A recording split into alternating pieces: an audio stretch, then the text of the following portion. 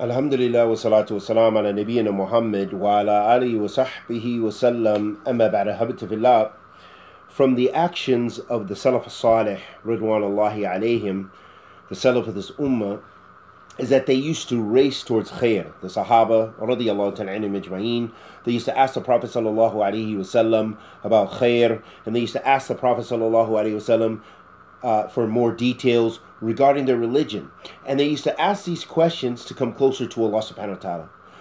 تقاربا إلى الله تبارك وتعالى. Not to make fitna, not making questions just for the sake of asking something that's never going to happen or, you know, some uh, strange question in order to make something muharram or other reasons that people ask questions or a question to start fitna between people or to close the door of something for the people. This is not why the Sahaba radiallahu ta'ala and the Salaf salih ridwanullahi alayhim used to uh, seek knowledge. And this is not what they used to race towards. They used to race towards khair. And khair and ma'ruf is everything that draws you nearer to Allah subhanahu wa ta'ala. And it includes everything that Allah subhanahu wa ta'ala commanded with and everything Allah subhanahu wa ta'ala loves. As uh, Shaykh al-Islam ibn Taymiyyah mentions, when it comes to the uh, uh, principle or the concept of ibadah or worship, he said, Al uh, ibadah, kullu ma yuhibbuhu Allah wa yardahu min uh, a'mal al-zahir wa batin. Or kama Shaykh al-Islam, rahimahullah ta'ala. So he said that ibadah or worship is everything Allah subhanahu wa ta'ala uh, loves and is pleased with from deeds that are uh, from actions that are open and actions that are internal. Actions are internal or what? Actions of the heart. Tawakkal Allah. Uh, al-inaba, al-isti'ana, al-isti'adha, all of these kind of actions, these various forms of uh, ibadah that are ibadah qalbiyah, uh, uh, trusting in Allah subhanahu wa ta'ala, your sincerity to Allah, your ikhlas, and all of these other actions of the heart are the ibadah or worship that Allah subhanahu wa ta'ala loves, which is related to the heart. Then there's the ibadah which is open, for example, the salat and zakat, which are physical actions that you may be doing and that others may see, that are physical actions of worship drawing you nearer to Allah subhanahu wa ta'ala. So the Sahaba and the Salaf in general were haris, they were vigilant in trying to do those things which Allah subhanahu wa ta'ala loves and striving to do khair, um, uh, amumin.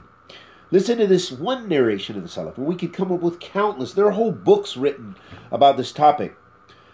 On Khalid ibn Ma'dan, rahimahullah ta'ala, قال إذا فتح أحدكم باب خير فيسرع إليه فإنه لا يدري متى يغلق عنه and this is in uh, from Siyar A'lam Nubala, or this is the the small, uh, concise, uh, abridged version. Khalid ibn Ma'dun, uh, Ma'dan, rahimahullah ta'ala said, if the door of goodness is open for any one of you, then race towards it. Be quick in, in going to it. For verily one of you is for verily one of us is unaware, one of you is unaware when that door will close upon him. So that shows us that the Salaf Salih were conscious about the dunya. That they knew those ahadith and those ayat which showed us that some of the people prefer the dunya, athar al hayat dunya. Some of the people they prefer the dunya, and some of the people prefer the akhirah, and that they had to race to the khair because the time is limited in this dunya. And that this dunya, this worldly life, is actually a prison for the believer and a paradise for the disbeliever. Qala sallallahu alayhi wa الدنيا سجن المؤمن جنة الكافر the this life is a, uh, this worldly life is the paradise for the uh, paradise for the disbeliever and a prison for the believer. So this shows us that the mu'min is vigilant in khair and vigilant with regards to using his or her time to draw nearer to Allah subhanahu wa ta'ala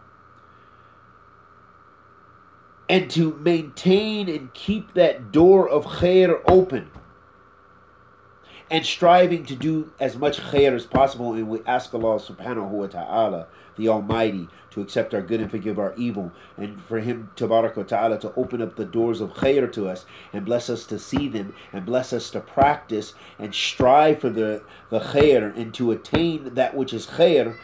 ربنا آتنا في الدنيا حسنة وفي الآخرة حسنة وقنا عذاب النار وصلى الله وسلم على نبينا محمد.